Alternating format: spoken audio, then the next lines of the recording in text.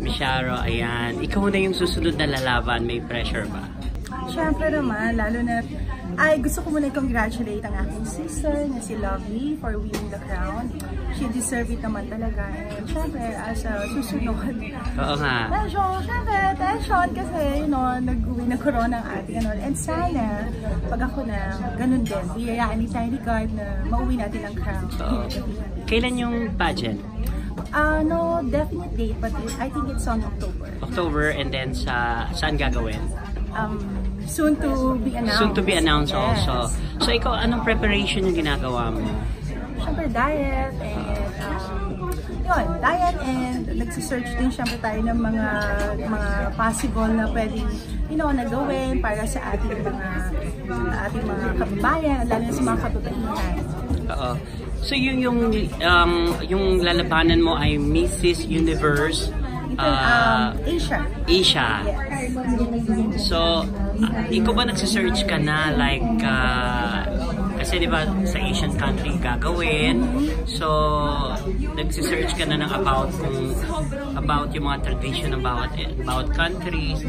Especially ngayon, ah, hindi pa pwedeng i-announce kung saan gagawin. So, oo, nag-start na ako dyan. And, syempre ako, uh, I like to travel talaga, lalo na mga Asian countries. Kasi, uh, by going there to their place, alam mo yun, natutunan mo yung mga culture nila. Iba-ibang culture talaga nila. And, yun. At sana, by the time na uh, lalaban na tayo, talagang prepare na prepare na. So, ngayon ba, pinaghahandaan mo na yung kung ano yung magiging national costume mo? Kasi isa yun sa inaabangan. Um, oo, kasi pinag-uusapan din namin ng pinaka-designer ko kung ano talaga yung magiging team ng national costume ko. Mm. And syempre, surprise na lang yung para sa ating mga. How about yung walk? Oo, kasi sa atin, sa, sa ating mga Pilipino, iba-iba yung ano eh. Iba eh, kung baka binibigyan natin ng tawag yung walk. Ikaw ba may tawag yung walk mo? Ah, Charo Walk. ako lang.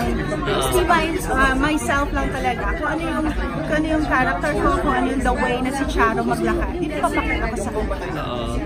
Pero ano yung magiging advocacy mo pag, uh, pag ah, laban?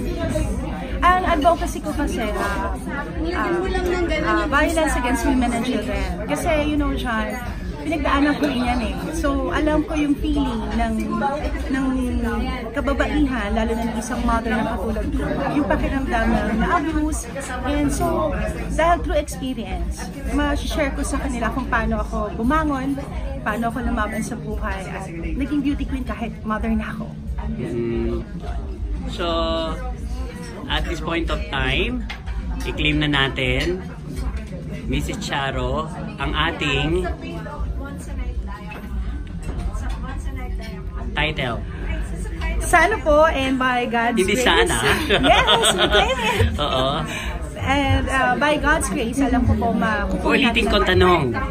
Miss Cha Mrs. Charo, ikaw ang Mrs. Universe Asia 2019. 2019.